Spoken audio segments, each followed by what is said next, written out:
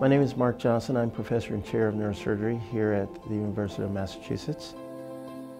My primary interests are in brain tumors.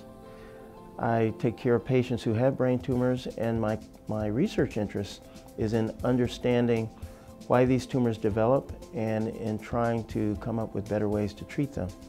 I also have an interest in adult hydrocephalus. This is a disorder that develops usually after the age of 60 and is characterized by gait instability, incontinence, and dementia.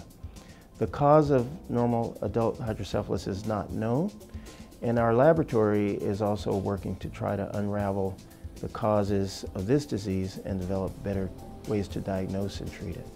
Normal pressure hydrocephalus affects about 750,000 Americans.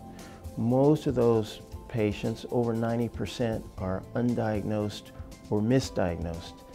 The symptoms of normal pressure hydrocephalus can resemble uh, the symptoms of Alzheimer's disease, Parkinson's disease, or other neurodegenerative disorders caused by an accumulation of spinal fluid in the brain. No one knows why that occurs.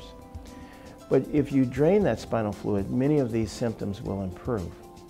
Our hope is to come up with a simple, readily accessible test that could be used to identify patients who have this disorder as opposed to some of these other uh, less treatable disorders.